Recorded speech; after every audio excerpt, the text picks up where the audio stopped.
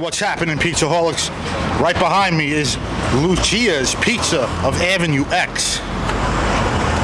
Right on that corner.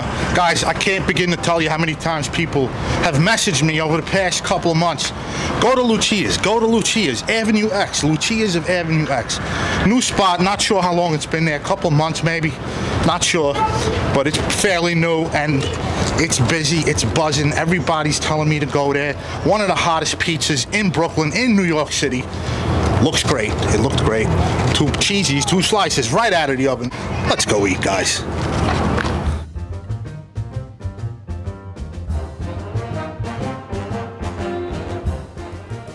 All right, here we go. Oh, baby. Right up my alley. These look amazing. All right, here we go. Oh, extremely light. Listen. Crackles on the bend, nice and pliable. Nice crunch. Fairly light. No flop. Holding its shape.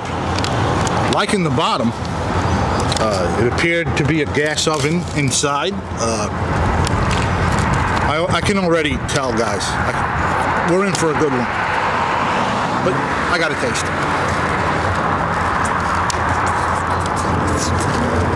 Mm.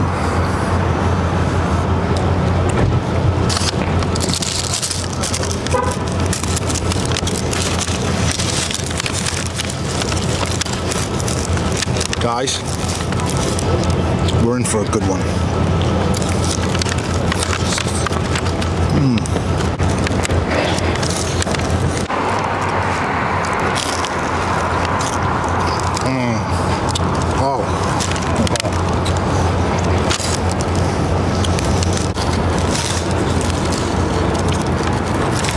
I know you guys want to see the pizza when I bite into it.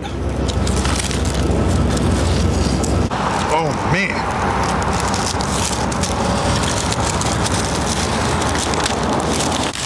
Oh, that basil hits you. That basil is so fresh.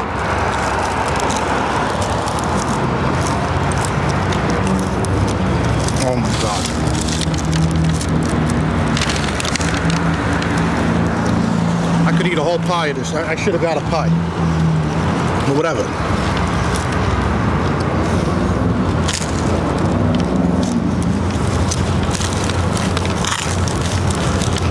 Hmm.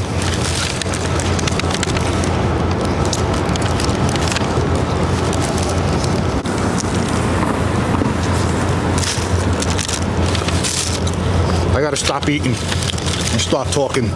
Let's go into the lab, folks. All right, guys, into the lab under the microscope we go, guys. Here, here is a pizza that, if I were to tell somebody to make me a pizza, a New York style pizza, I would tell them to make it just like this, just like this. You know me, guys. This is right up my alley. The basil, first and foremost the shards of hard cheese, grated cheese, uh, probably Parmigiano, maybe some Grana Padano, not sure, but uh, uh, oh my goodness, the fir- this pizza is so good. I'm I'm already I'm thinking negative. I'm looking for flaws, and I'm trying to find some flaws, and I I may have found one. I, I, I don't even. I may have found a flaw. Perhaps it's sauce distribution. Uh, the same thing went for the other slice. This is their marg, by the way. Uh, I had to get this, guys. It's right up my alley. You can get their cheese. You saw come out of the oven before when I filmed inside. And uh, uh, I got this because it just came out like 20 seconds before I ordered it. And uh, I, I, I, it's just so good that I'm just I'm looking for something to criticize and uh, critique. Uh, it would probably be sauce distribution, even though it's really not that bad. Uh, there are parts of the pizza where you're going to get just cheese, and but for the most part, guys, uh, you're going to get sauce with each bite. And you're getting good sauce. Look at the brightness of those tomatoes. Look how fresh they are. Not sure what kind. Didn't see any cans of tomatoes anywhere. But it's really bright, very fresh. Very, uh, also uh, a little on the pulpy side. You know me, guys. I like when there's a little pulp in that tomato sauce. And there is some pulp in that tomato sauce, guys. Would have liked a little more of it. They ladled it on, very grandma style, no big deal. And um, again, you're going to get some dry patches here and there. But you know what? I bet there's more sauce on the margherita than you're going to get on the cheese pizza. Most New York slices, cheese pizzas, or as we say here, the regulars, regular pizza, is usually lacking in sauce. Guys, we got to go to that crust. Look at that beautiful, beautifully aerated crust, extremely light. This entire pizza feels like a feather in my hand right now. The, the plate, this plastic plate is heavier than the pizza. Look at that freaking thing, guys. Beautiful, beautiful.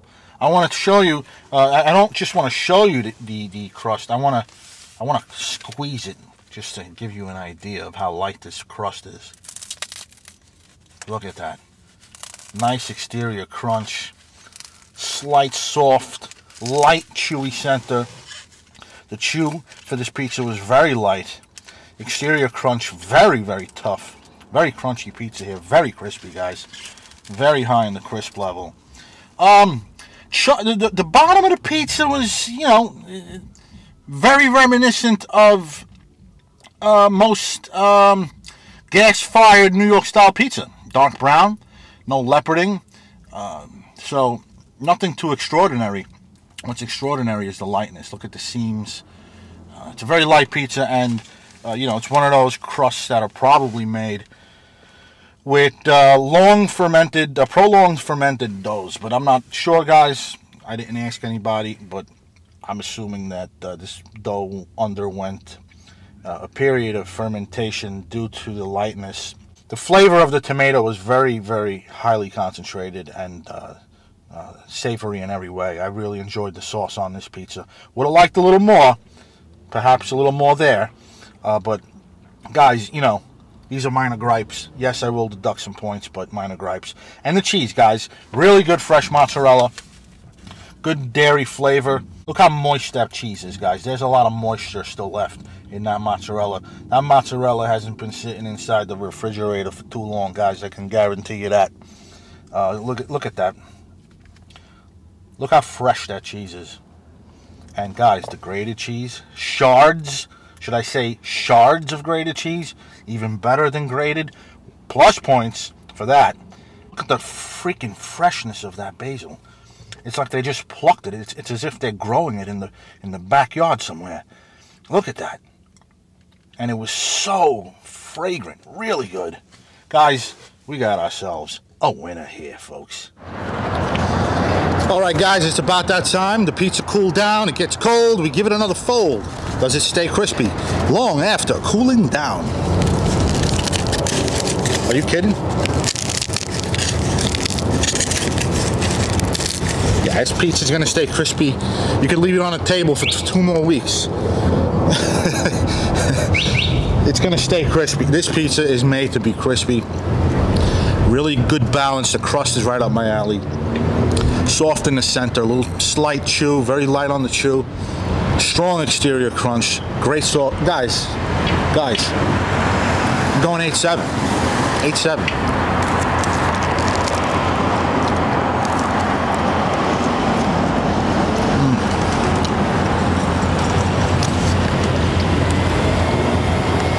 One of the best pizzas in Brooklyn right here, guys.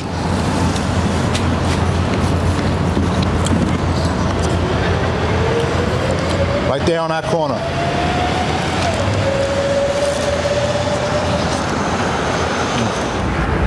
One of my one of my favorite margheritas in the city. Sauce distribution could have used some work. Again, the bottom, maybe a little more char, maybe a little smoky, smokiness, smoky element. And uh, we're talking low nine, but uh, almost there, guys.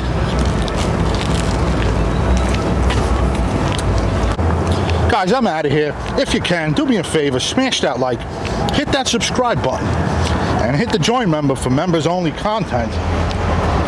I really do appreciate the viewership. I'll look forward to our correspondences in the comment section. And until next time, folks, keep those bellies full. This is Antonio, signing off.